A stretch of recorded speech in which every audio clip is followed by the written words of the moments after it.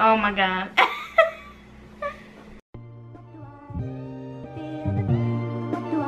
What's up you guys? So Welcome back to our channel, first of all.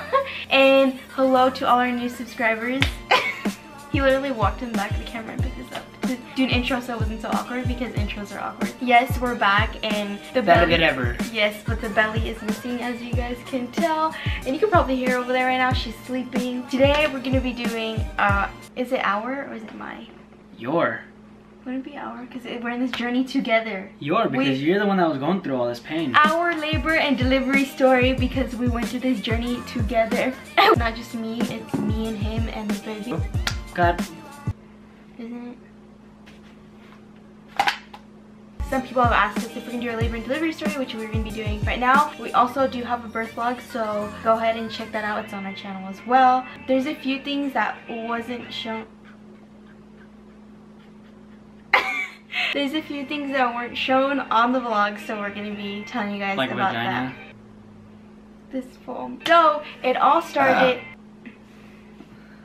Really? I go. Okay, Okay. you guys, it was longer than 40 hours. I did not even know that. So it all started, I think it was March 27th. I was having very like light contractions. Like I was telling him, I was like, I'm having like weird cramps. And I was like, I think I'm contracting, but I don't know. So I like kind of ignored it and we went to his friend's house, Kevin's house. And we were hanging out at his house and I was talking to his mom and then I started getting like strong pains.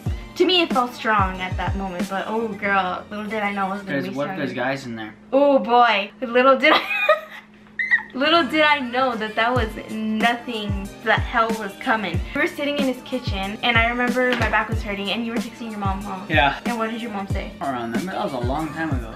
She doesn't remember anything, guys. This is why you, you just don't. I don't remember anything. you don't confine in, guys. Look, she was looking for the bag for the camera was right in front of her the whole time. Her, I don't know where it's at, Sabastian. Can you help me find it? So I was having contractions. He was texting his mom, and his mom was like, "Oh, she's in full-on labor or something like that." And then I was like, "Nah, it doesn't. It like hurts, but it's like tolerable." So then we came back home. Our three friends came over, and we were all hanging out. And I was editing one of our videos. I remember I was sitting right there in front of the counter editing the videos, and his friends were over. And I remember they were all playing the game, whatever, like vaping, like 10 minutes apart, 40 seconds long. And I was like telling him. And then that night we like stayed up late watching Vampire Diaries. And then the next day, my pains like it kind of like died down a little bit, but it, they weren't like as frequent as like you know like they were 10 minutes apart, whatever. So all day I was just like having contractions, but they weren't like too close to the point where I was like, okay, I need to go. to And the they weren't even they weren't even bad. During the day they weren't that bad. Yeah, they were worse at night for some reason. Like at night when I was resting is when they were like really strong. But he's talking about March 28th now, you guys. We went swimming. And I noticed right when I got out of the pool, my pains were way worse than they were before. I don't know if it's because I had like no weight in the pool because you know how you're like floating and stuff. So I didn't feel nothing. So we just got here and we're outside already. Sabastian's in the hot tub, which I really wish I could get in, but I'm not risking it. I know I looked it up and they said you could be in there for 10 minutes, but the hot tub's really hot, so we're not gonna do that. I got a contraction when I was driving here and I was like, oh my gosh. But I'm gonna get in the pool and hopefully this helps you guys. I slept all day, you guys, because I was so tired and I'm still tired. And sorry, my hair looks like a mess. It's been a, in a bun. So yeah, we're gonna go ahead and get in the pool. I'll go ahead and bring you guys with me into the pool.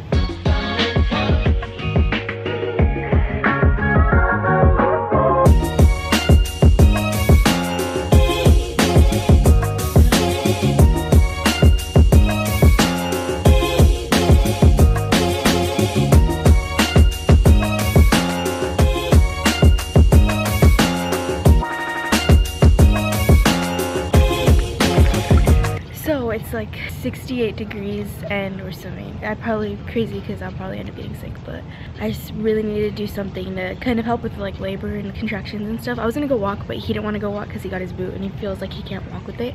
Plus he doesn't like going to the store because we always end up spending like money. Hopefully this helps. I'm like really out of breath and she's sitting really low. I'll show you guys. I'm just exhausted and I think it's because labor is approaching as you guys can tell because I was having contractions all night and I was gonna go to the hospital but I didn't end up going to the hospital because I was like no I don't want to go and then they're like oh, you're only one centimeter dilated, we're gonna send you home. So I'm just gonna keep swimming.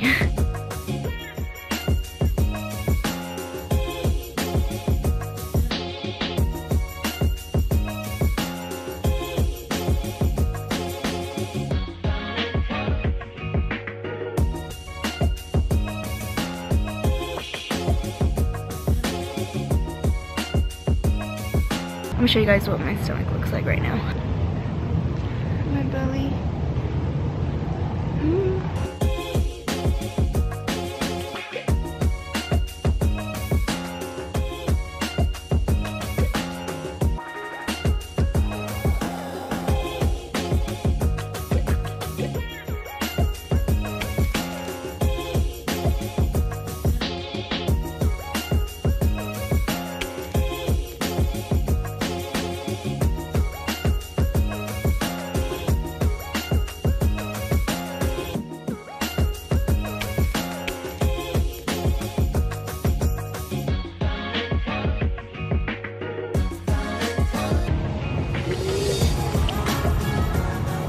Been swimming for an hour and then afterwards we went to Stater Brothers real quick to get some something to make food. We started walking around at Stater Brothers. I felt like the pain coming in. I was like, oh my gosh, this is happening. Like I'm having contractions. And I kind of thought like, okay, I had contractions yesterday or whatever. This is just gonna keep going on for a week or so because usually that happens. So I was thinking, okay, maybe it's gonna last two weeks of me having these little dumb contractions here and there and it not hurting so bad and it dying down and just turning at night. And I was like, oh my gosh, I'm not ready for two weeks worth of pain. And then um, we were sitting here watching Vampire Diaries and she started having hella contractions. Like she started crying almost. So yeah, then we didn't sleep all night. I was up most of the night like contracting really bad. Like I'd fall asleep and then I'd wake up because I was having a contraction and then he would wake up because he couldn't sleep because I was just kept contracting. on the 29th that morning, That's when we started vlogging. That's where you guys saw the first clip when it was 6 o'clock in the morning and he was vlogging, telling you guys we didn't sleep.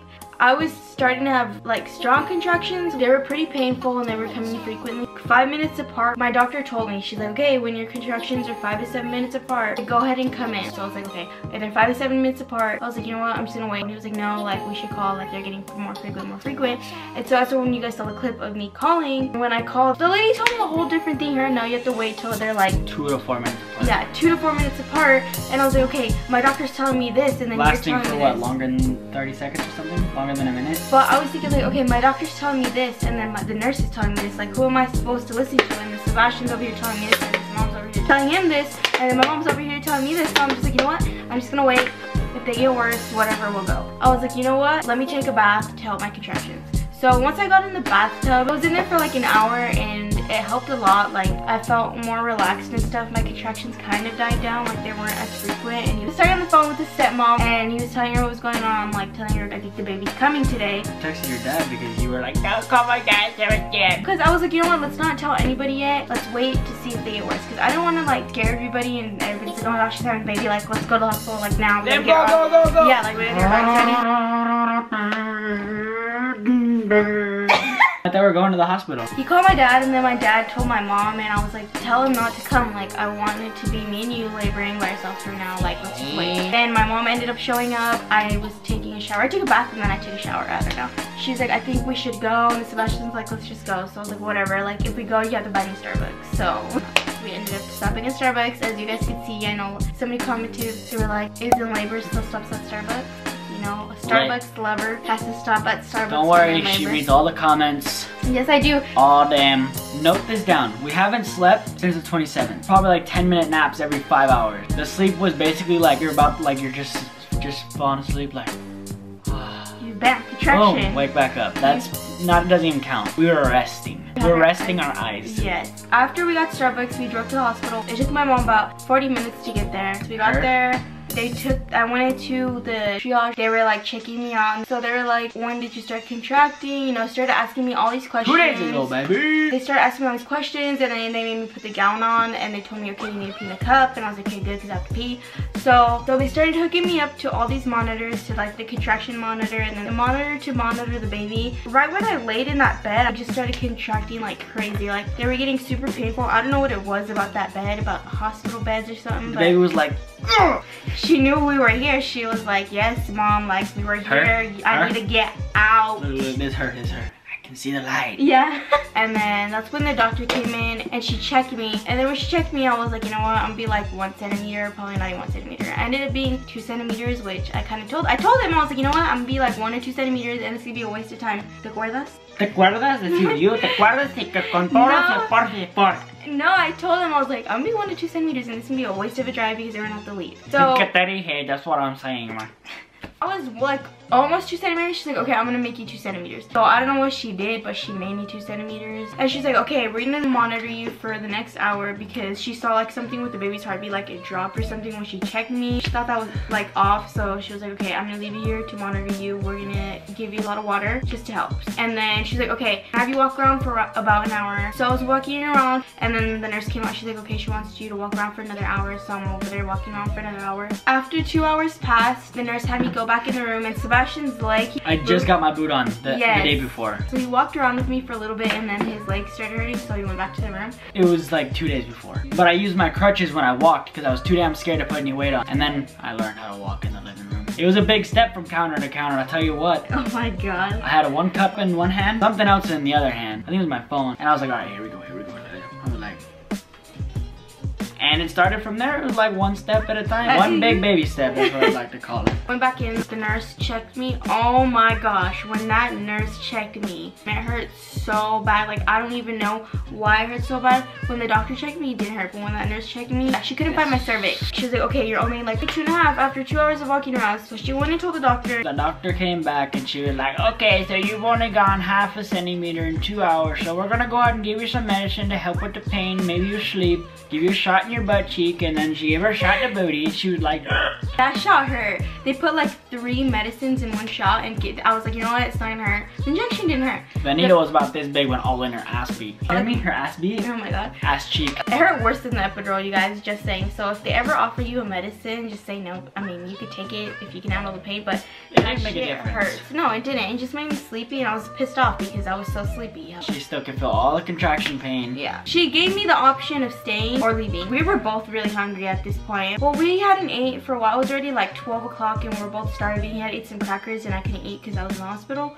which they don't allow you to eat. So I was like, you know what? Let's just leave. The pain's fine. Like, I can handle it. I'll labor at home for a little bit longer. And the lady's like, you might have her later on tonight. And that was March 29th. Make sure your contractions are like getting stronger and they're closer.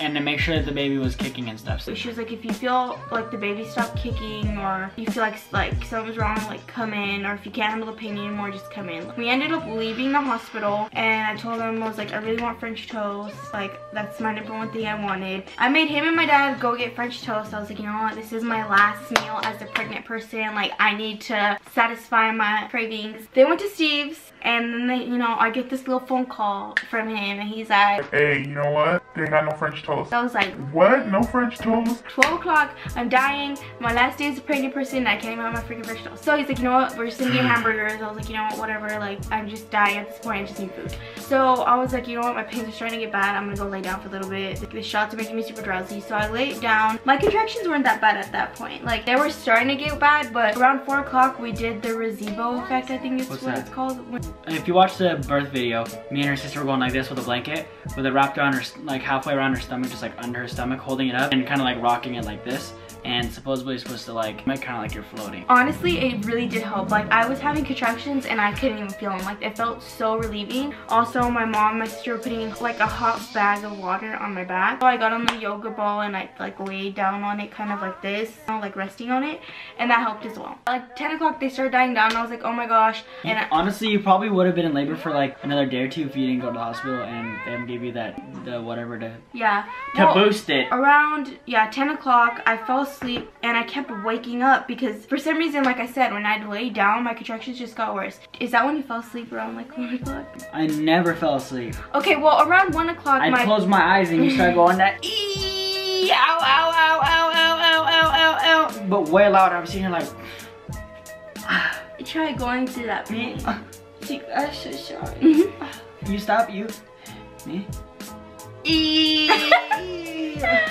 no okay around 1 o'clock guys my pain started getting worse About 2 in the morning, I downloaded the contraction app. For one hour straight, she had contractions for between 2 to 5 minutes. For at least a minute, 30 seconds each time. I think I still have a picture of it. They were bad, but at the same time, I was thinking like, okay, I don't want to go to the hospital and I'm only three centimeters dilated and I'm like in so much pain and it just disappoints me because I'm thinking like, okay, I'm gonna have to last so long with this pain, you know? Everybody was sleeping at this point. It was like two o'clock in the morning and I was having these really bad contractions. And I honestly, I, I knew they were bad, but I didn't know they were as close as they were telling me. Like I honestly thought they were so far apart. Even though they would, like I had no breaks at all in between. I was thinking like, okay, these contractions are probably like 10 minutes apart. I'm probably just like falling asleep in between and I didn't even know. So I think around two o'clock, my dad came in, he's like, okay, I think it's time to go. Like they had been listening to me for a couple And hours. You kept saying, oh, no, I don't want to go yet, Sabastian.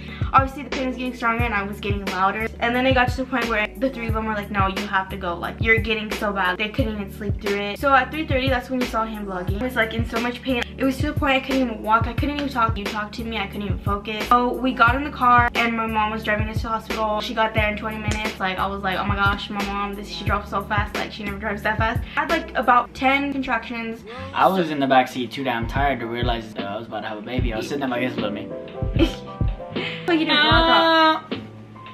no, as you guys can tell, we didn't vlog the drive there because he was asleep. I was screaming in pain and my mom was over here driving like, oh my gosh, are you okay? And then she like give me her hand and I'd grab it and I'd squeeze it super tight every contraction and my contractions were like two minutes long, I swear. Literally, the hospital was empty, you guys. We went to the emergency room and I was like, are they closed, mom? We went in there and he was like, okay, what are you here for? I'm like, I'm in labor. He looked at me like, oh shit. Like, he rushed. He's he like, like, "Alright." called the thing. He's like, all right, here, here, uh, here, sign this. And the guy came out, he was like, all right, let's go. Yeah, so he's in there pushing me and I'm having a contractions like breathe. Like, I don't even remember. I just remember he was telling me stuff and I was breathing and he pushed me into the elevator. And like, he was walking super slow because his leg was broken. So I took the other elevator. yeah, so the nurse guy was like, okay, you know what, you can take the other elevator. We're gonna get you up there real quick. So we got up there right away. They already have the room ready, the triage room ready. The nurse was in there. He pushed me in there and she's like, okay, you need to put this gown on. Like, and she's like, okay, I'm gonna go ahead and check you. And that nurse was super nice. Like every contraction I had, she was like, you're doing so good. Like just breathe. And like she was super, super nice. Made me feel comfortable. She checked me. She's like, okay, you're four and a half centimeters. We're gonna go ahead and admit you. And started I'm talking so fast because I'm like getting into the story because I'm like, oh shit, like I remember this happening. She's like, do you want the epidural? And I was like, yes. She's like, okay, do you want to wait till your pain gets worse or do you want it now? I'm like, I want it now. Like,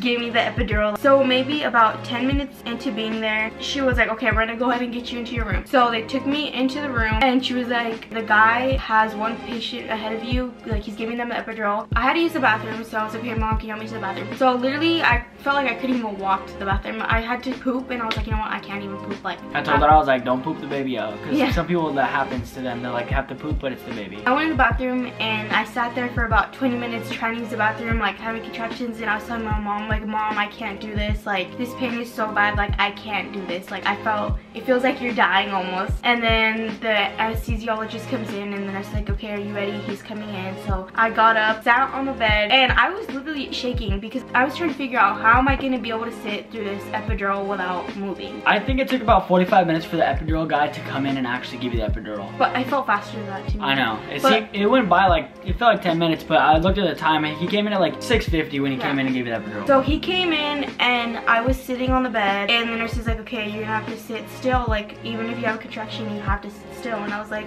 I told her, I looked at her, I was like, can you please hold me? Like, like just you need to hold me in order for me to sit still because I can't sit still. So she gave me the pillow and you know how they give you the pillow and you're sitting like this. I was waiting, I was waiting for a countdown. They told Sabastian, they're like, you need to sit down because we've had people pass out and we can't have that. So Sabastian's sitting across from me and I'm sitting right here. I was gonna pass out because I was tired. I'm like, I was waiting for a countdown for the guy to count down like okay one two three I'm gonna stick a shot in. No, I just felt the, the numbing shot and that's what hurts the worst. Honestly, you guys, everybody's right. The numbing shot hurts, hurts the worst. I had at least three contractions or four when he was giving me the epidural. So I'm sitting there screaming into this pillow. The nurse is holding me. She's like, you're doing good, you're doing good, like making me feel good, but I'm still screaming. It's the worst thing ever having contractions while they're telling you to sit still through your contractions when you can barely sit sit still at all and this guy's sticking a needle in your back and you're thinking like if I move I could freaking be paralyzed or even worse something bad can happen you know something worse can happen. So I'm sitting there screaming into the pillow for 10 minutes. Because they had to like clean the hell out of her it back. took about five minutes to kick in. Slowly feel the contraction starting to die down like I could not die down but like the pain was starting to die down I couldn't feel it anymore. And then Sabastian's like oh you're having a contraction do you feel it? I'm like no I don't feel it. Like I was so happy like I turned into a whole different person like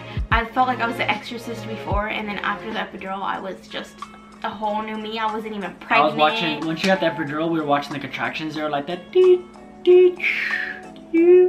yeah Like that, like I'm not even joking. Thank goodness for epidural. Okay, so a nurse is like, okay, we're gonna go ahead and check you. I think an hour had passed already. And she's like, okay, you're five centimeters dilated. So I was like, okay, like, that's good. And they came back in about two hours later and checked her again. She was six, yeah. So it was already by then, it was like nine o'clock. They're like, okay, we're gonna break your water. So they came in, they broke the water. The nurses like have a monitor outside so they can monitor the the girls' like contractions and monitor the baby's heartbeat. So I guess an hour had passed and she had seen my contractions were starting to die down after she broke my water. Like they weren't getting close, they weren't getting stronger. And she's like, okay, we're gonna start you up on Pitocin because you're you should be having contractions like crazy. Like your water should help you and it wasn't helping me. Yeah, then she started getting a fever, and the doctors couldn't really figure out why. So they thought, oh, maybe because she has too many blankets on her. So they took the blankets off. Hour went by, still had a fever, and then they gave her some Tylenol. Yeah, he had a fever all the way till the baby was born. Even after. Five hours later, they checked me and I was still six centimeters and I was still having a fever. So they're like, okay, at this point, you should have already dilated at least like one centimeter more and you're not dilating. So she's like, right now, we're gonna check you again in an hour and if you're not dilated, we're gonna have to go from there and we might have to give you a C-section. So at this point, we were looking at having a C-section. Like it was getting to a point where I was gonna have to have a C-section. At that time, it was like almost 12 o'clock. And they came back in around two hours later and they checked me again and they're like, oh, you're eight centimeters, like you're doing like good. The nurse was so excited. She's had this, it's called like a peanut ball. It looks like one of those yoga balls, but like shaped as a peanut. And it goes between your legs to hold your legs open to like open the birth canal. It was also supposed to help the baby's head move into the proper position. I was supposed to help that, so they had me with the peanut ball in between my legs. I'd have to have it on one side and then they flip me to the other side. Yeah. So throughout that time when I had the peanut ball,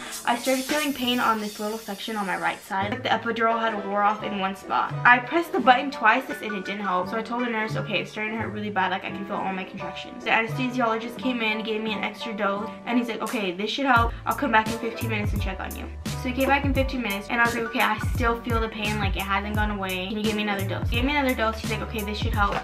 I'll be back in 15 minutes to check on you. So That was fine after that dose and then they kept switching me side to side and then an hour later I told the nurse, okay, I'm starting to feel that pain again and then he came back in, he's like, okay, that's weird, you shouldn't be feeling pain. He's like, okay, I'm gonna give you an extra dose. This one should help. I stopped feeling the pain and there was one point where I did start feeling it again, but I kind of ignored it and it wasn't as bad as it was before. So about 3.30, the nurse came in, it was already about an hour later. I was shaking and she was like, okay, you know what? They said usually when you're in labor and you, You start start shaking, you're usually about 10 centimeters, like you're ready to go. Yeah, she's like, okay, so you're 10 centimeters dilated.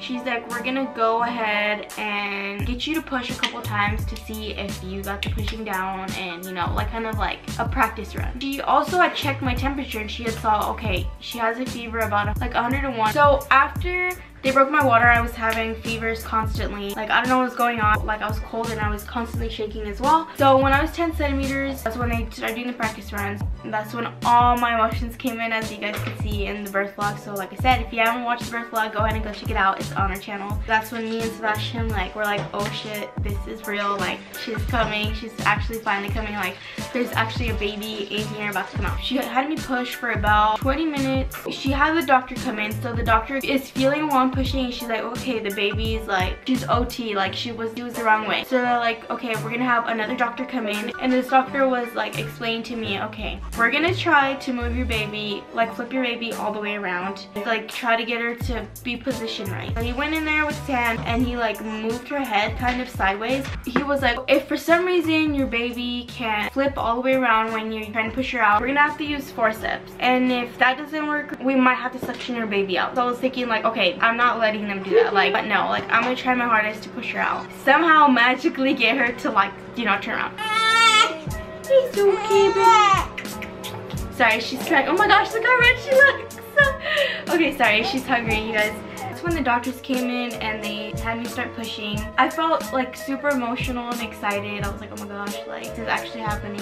How'd you feel? Tired, scared, excited. I was like, You know what's funny, you guys? The doctor asked him, do you want to see the baby's head come out? To the baby's head crown. And he was like, no, I don't want to see that. And then once the baby started crowning, he walked around and he stood there and he was like watching. He was like, his facial expressions, I was watching the whole time when I was pushing. And I told myself, don't look at him because if you look at him, you're just gonna scare yourself. I was pushing for about two hours. But it seemed like 20 minutes. Yeah, it felt like 20 minutes and I kept like kind of falling asleep a little bit in between. And it was hard because I felt like I was gonna pass out when I was pushing. They put the mask on me, told me breathe, which helped a lot, the oxygen mask. He was standing down there where you could see like the baby coming out. And I could kind of see in the lady's glasses because she had glasses. I could kind of see what she was doing so I really didn't want to look. So she had to cut me because the baby's head was like stuck. Thankfully, like after two hours, her whole body and her head did end up turning the proper way. She cut me and he saw like I watched his face when she cut me. Like I could hear it too. It was just like, just like a thick, just like,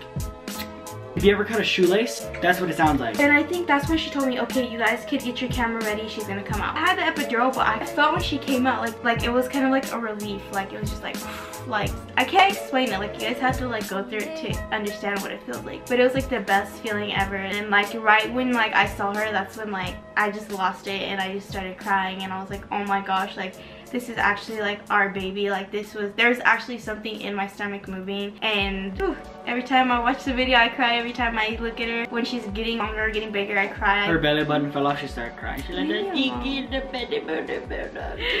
no it's She's just like, she's getting so big. it's such an emotional experience like having a baby you just have this emotional attachment to your baby especially after carrying them for nine months it's like how did you feel when she was born when you first saw her come out I was excited. did you actually believe that that, that little thing was in Yeah, I didn't know she would look like a person, but it she was gonna come out looking like a fucking frog or something. And you know what's funny, you guys? Right when she came Oh, out, if you guys saw in the clip, her eyes were wide open. Like, was like- she was like, oh my gosh, like hello world. Like I was, she was ready to come out. I don't know if you guys saw, if you guys did watch the birth vlog, there was one clip where the doctor was shaking me. So after she came out, I didn't remember them putting her on me. I asked him, did me and her do skin to skin? Because I don't remember. For about 10 minutes, we were doing skin to skin. And I just remember during that time, I kind of felt like I was dozing off, kind of. I felt like I was gonna puke and I felt like uh, everything was turning into a blur. Like, I felt like I was in a blackout. I remember saying, okay, I don't feel good. And then I think I remember one of the nurses telling me, or somebody told me my vomit bag thing was right there. So I was like, no, like I really don't feel good. So one of the nurses, I guess, grabbed the baby from me because she saw I wasn't feeling good. So they grabbed the baby and Sabastian's standing there. And I remember telling them, you need to go with the baby, like go with baby.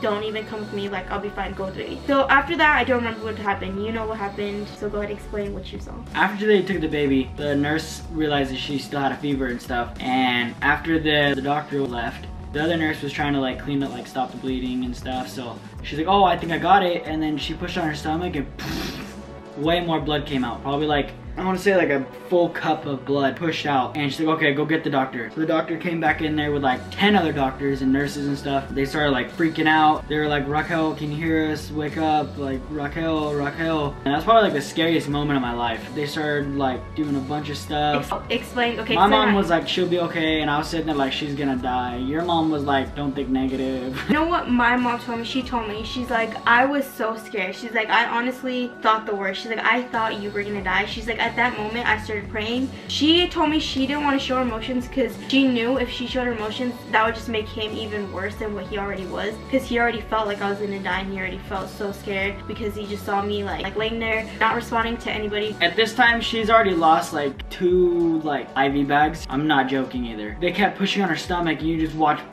just blood just flowing out and flowing out. And went and got this balloon thing. You know those balloons that like have like the rubber band on it, and they're big, and you blow them up, and you go bum bum bum bum bum. Like it looked like one of those, and they put it in her and put these big like gauze, Gauze pads, pads.